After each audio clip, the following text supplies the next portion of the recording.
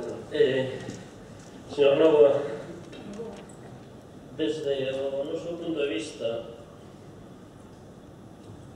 o trazado proposto no, no plan viario non, non é o, o adecuado por varios motivos. Non? O primeiro, que non non está consensuado cos veciños da zona, se teñen manifestado en contra deste trazado. Por outro lado, este trazado non achega o polígono a cidade de Ourense, aínda que si a autoestrada, pero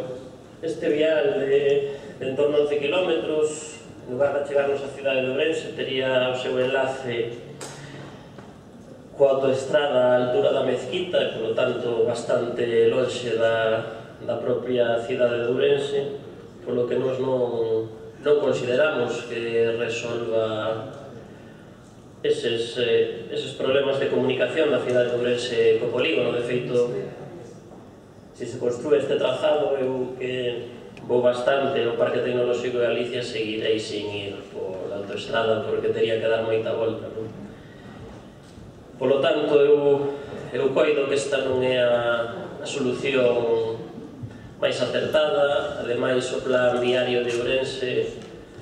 ainda non resolveu todas as alegacións dos, dos veciños afectados, non está consensuado entre as distintas forzas políticas e os concellos da zona e, polo tanto, nos consideramos que este tipo de planificacións, este tipo de infraestructuras teñen que servir da mellor forma posible. Claro que nos estamos de acordo en que ten que haber unha conexión adecuada do que é a zona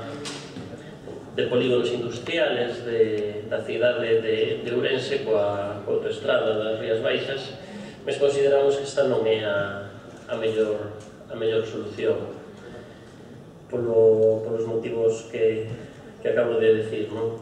Sabemos que existen presións por parte do, dos empresarios do polígono que son absolutamente legítimas pero considero que a mellor solución para dar un acceso da cidade de Ourense a, o polígono de San Cibrao que non pasa por a solución prevista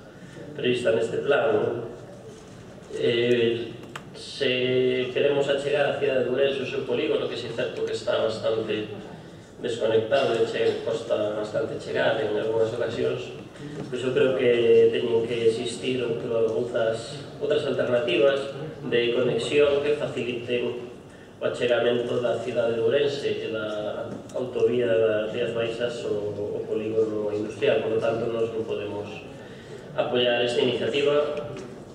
por respeto aos veciños afectados e fundamentalmente porque non é a solución que nos consideremos máis aceitada para